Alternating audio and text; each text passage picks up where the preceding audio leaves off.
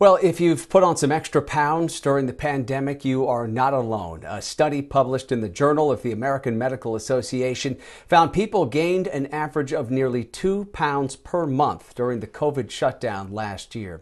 Joining us uh, now to talk more about this research and what can be done to address this trend is Dr. Ashley Mason from UCSF. Dr. Mason, great to have you on. Appreciate your time. Uh, obviously, uh, a lot of us, we have been stuck at home more than usual. A lot of us doing uh, the, the comfort eating as we try to try to deal with the, the stress happening all around us. Is, is this uh, about uh, what we're eating? Is this more about how often we're eating? What are the biggest factors you think driving this?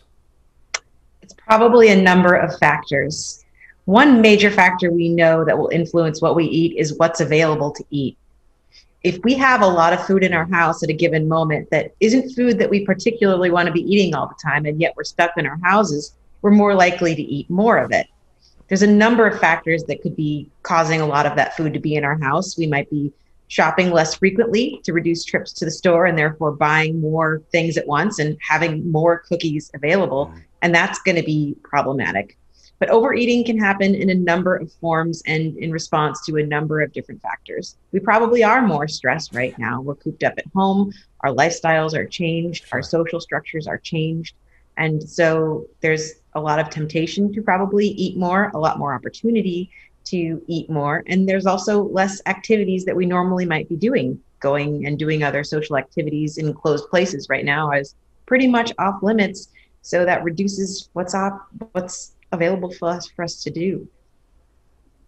Sure. I know that, that, based on the research that you've done, you, you, believe one of the most effective ways for people to, to try to address uh, weight gain in general, and especially during the pandemic, is to reduce the amount of sugary drinks that we are enjoying. I mean, you know, a, a lot of people they crave crave a soda, especially when you know when when uh, you know times are tough, as they have been here for the last year or so, just to sort of get them through. What what has your research found about um, how how much those sugary beverages are, are really driving driving this overall weight gain for us? So there's a lot of data out there about the impact of sugar on our health. And what we know about consuming sugar that we've learned from some recent research we've done at UCSF is that when you make these beverages less available, people drink less of them. So, a major take home message here is if these bever- beverages are not in your house, you're going to drink fewer of them.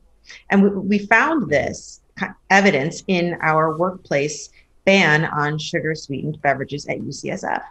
We removed these beverages from vendors at UCSF and we asked people to report on how much they were drinking of them. And behold, people were drinking less of these sugary beverages um, many months after that ban was implemented. So, if we translate this into what we can do for our own personal environments, not keeping these beverages in our house is a key first step. If they're not there when you crave them or when you're stressed out, you can't drink right. them. Yeah, re- resisting the urge to even buy buy those sodas when you are at the store. Can I ask you finally here just a big picture question here? Uh, you know, when you look at uh, the the weight gain for, for all of us here during the pandemic, if, if this is is permanent, you know, folks are putting on more weight. What are the overall societal implications of this from a public health perspective? That's a very big question weight gain over time, slow weight gain is insidious. A lot of times we don't notice until we yeah. try and put on that old dress or that old pair of jeans. And so it's very easy to not notice it happening and it's actually actually quite difficult to lose weight over time without paying attention to it a bit um, making some different choices it is pretty important to evaluate what we're eating and how much we're moving each day. And the pandemic has really made that difficult. When we're home all day, we're able to graze and snack all day, and we lose track of how much we've eaten. And then again, maybe our regular exercise classes are canceled. Maybe our gyms aren't open anymore. So we're not also moving as much as we usually would.